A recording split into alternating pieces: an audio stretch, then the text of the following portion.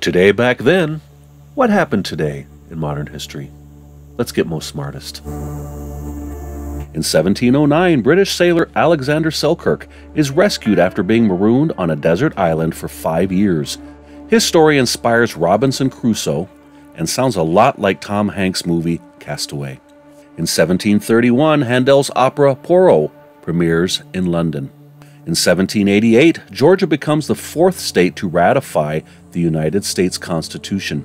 In 1791, the Big Bottom Massacre marks the beginning of the Northwest Indian War. In 1802, the first wild leopard is exhibited in Boston in the United States. Admission is 25 cents, which is kind of a lot for the time. In 1811, Russian settlers established Fort Ross Trading Post, just north of San Francisco.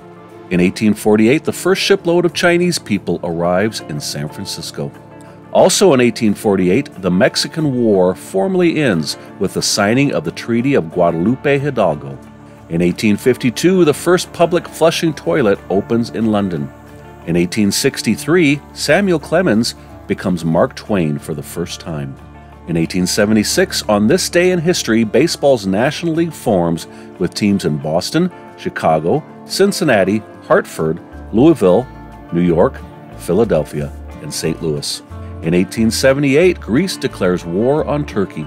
In 1882, Irish author James Joyce is born.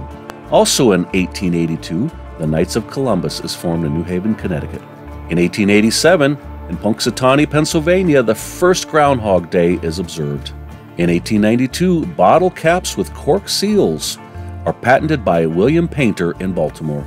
In 1887, the Pennsylvania state capitol in Harrisburg is destroyed by fire. In 1901, the Female Army Nurse Corps is established as a permanent organization. Also in 1901, Queen Victoria's funeral takes place in St. George's Chapel, Windsor Castle, England.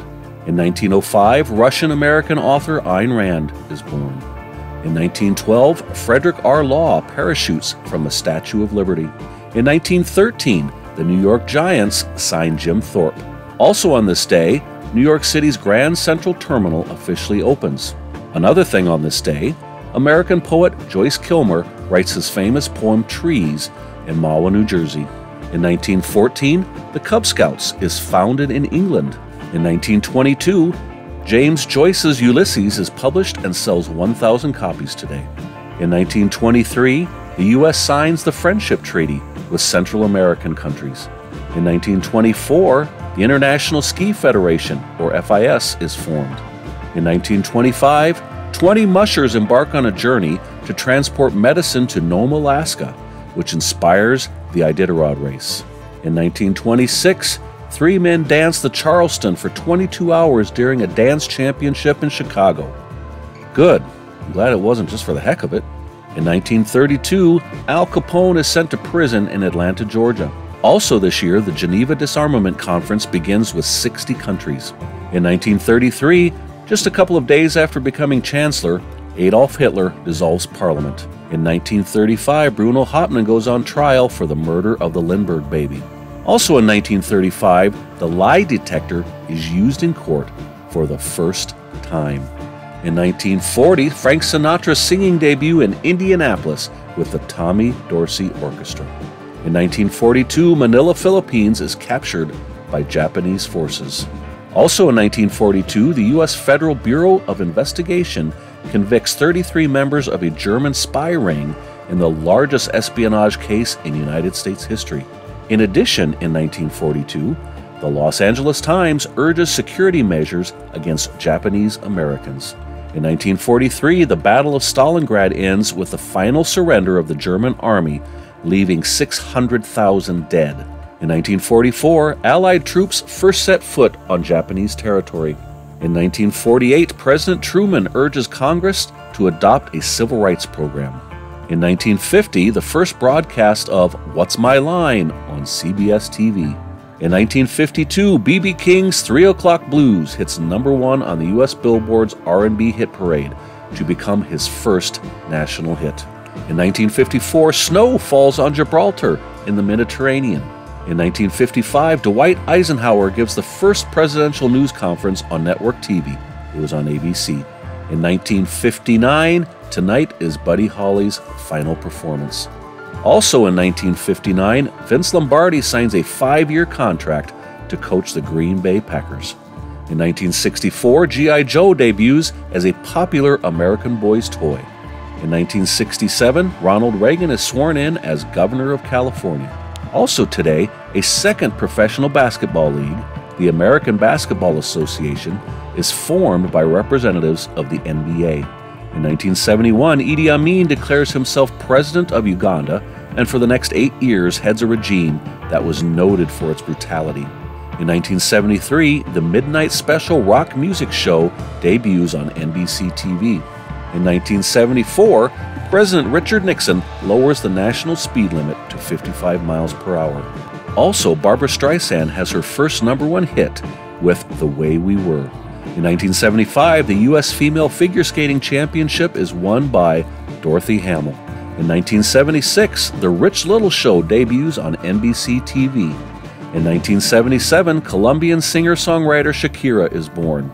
Also in 1977, Radio Shack officially releases the TRS 80 computer. In 1979, Sid Vicious of the Sex Pistols dies. In 1980, the U.S. learns of an FBI sting operation called Abscam that targeted members of Congress who were taking bribes for political favors. In 1981, one of the largest investigations in Britain ends when serial killer Peter Sutcliffe, also known as the Yorkshire Ripper, is arrested in Sheffield, South Yorkshire. Yes, there are serial killers outside of the United States. In 1990, South African President de Klerk announces the unbanning of the African National Congress and his intent to release Nelson Mandela, effectively the beginning of the end of apartheid. In 1991, Sting scores his second UK number one album with The Soul Cages. In 1992, the IRS and Willie Nelson settle on a $9 million tax bill out of the 16.7 million he owed. In 1993, Frito-Lay pays a court-ordered $2.5 million to Tom Waits for using his song Step Right Up. In 1996, American entertainer Gene Kelly passes away. In 1999, a Portland, Oregon jury orders that a person who created an internet site listing the names and addresses of abortionists pay $107 million in damages. In 2001, former President Clinton and Senator Hillary Rodham Clinton say they will pay $86,000 for items from the White House they had chosen to keep. In 2009, RuPaul's Drag Race, hosted by RuPaul, premieres on Logo TV. In 2014, the Seattle Seahawks defeat the Denver Broncos 42 to 8 to win Super Bowl 47. Also in 2014, American actor Philip Seymour Hoffman died of a heroin overdose in New York City. In 2018, all 955 miners are rescued from the Beatrix Gold Mine in Welkom Town, South Africa, after two days underground. In 2019, American singer R. Kelly is arrested after turning himself in on 10 counts of aggravated criminal sexual abuse, including with three minors. In 2020, in Super Bowl 54, the Kansas City Chiefs beat the San Francisco 49ers 31 to 20. Also in 2020, it was Palindrome Day. The date 02 02 2020 reads the same forward and backward. The last time this happened was November 11th, 1111. In 2021, Jeff Bezos announces he is stepping down as CEO of Amazon after 30 years, becoming executive chairman. Also in 2021, Pete Buttigieg is the first openly gay person to be confirmed to a cabinet post as transportation secretary. Well, that was February 2nd. Have you watched any of my other Today Back Then episodes? You should. They're right in front of you.